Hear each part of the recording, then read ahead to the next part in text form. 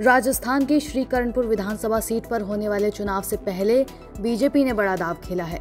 Party ने राज्य सरकार कैबिनेट में उन्हें चुनाव जीतने से पहले ही जगह दे दी है।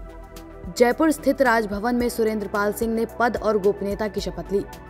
सुरेंद्र पाल को भजनलाल सरकार में राज्य मंत्री बनाया गया है। कहा जा रहा है कि ऐसा पहली बार हो रहा है जब किसी प्रत्याशी को चुनाव जीतने से पहले कैबिनेट मिनिस्टर बनाया गया हो। दरअसल श्रीकरणपुर श्रीगंगानगर ज़िले की वही सीट है जिस पर इस सीट से 75 साल के कांग्रेस नेता गुरमीत सिंह कुन्नर विधायक थे। मौजूदा विधानसभा चुनाव में उन्हें फिर से टिकट मिला था, लेकिन कुन्नर का 15 नवंबर को निधन हो गया। ऐसे में चुनाव आयोग ने श्री कर्णपुर निर्वाचन सीट पर वोटिंग को स्थगित कर दिया था। अब 5 जनवरी को सीट पर वोटिंग होगी, लेकिन सुरेंद्र पाल को मिनिस्टर बनाने के कारण सियासी गर्मी बढ़ गई है। विपक्ष भी लगातार हमलावर है। राजस्थान के पूर्व उप मुख्यमंत्री और कांग्रेस नेता सचिन पायलट ने ट्वीट कर बीजेपी सरकार को घेरा। उन्होंने कहा, श्री कर्णपुर में विधानसभा उपचुनाव के साथ वर्तमान में आचार संहिता लागू है।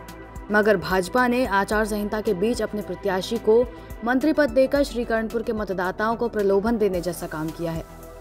श्रीकरणपुर की स्वाभिमानी जनता इस अलोकतांत्रिक और अमर्यादित कदम के पीछे राजनीति को समझ रही है। चुनाव आयोग को इस मामले का संज्ञान लेकर उचित कार्रवाई करनी चाहिए। कांग्रेस इस मामले को चुनाव आयोग के संज्ञान में लाकर कार्रवाई की मांग करेगी।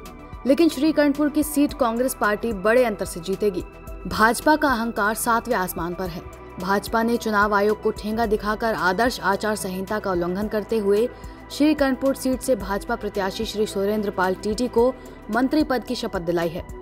हालाँकि बीजेपी ने कांग्रेस के आरोपों पर पलटवार किया है। बीजेपी नेता राजेंद्र राठौर ने कहा कि संविधान के आर्टिकल एक चार में निहित प्रावधानों के तहत किसी भी व्यक्ति को बिना निर्वाचित हुए छह महीने तक मंत्री पद धारण का अधिकार है। इस संवैधानिक प्रावधान के अनुसार मुख्यमंत्री के सलाह पर राज्यपाल महोदय द्वारा किसी भी व्यक्ति को मंत्री पद की शपथ दिलाई जा सकती है। इसके बाद छह महीने के अंदर उसे विधानमंडल का सदस्य निर्वाचित होना ज़रूरी है।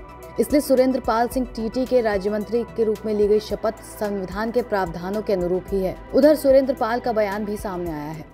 आपसे ज़्यादा आपकी पार्टी कॉन्फिडेंट है कि आप चुनाव जीत रहे क्योंकि अभी आपके चुनाव होना बाकी है, परिणाम आना बाकी है करणपुर से। देखिए देखिए हमारे कर्णपुर के मतदाता समझदार हैं और निश्चित तौर पर हम चुनाव जीतेंगे और पार्टी ने मेरे माध्यम से सिख समाज को सम्मानित किया है, सिख समाज का प्रतिनिधित्व किया है। तो निश्चित तौर पर पार्टी सभी छत्तीस कुटुंबों को साथ लेकर चलती है, उसमें हमारा समाज भी है।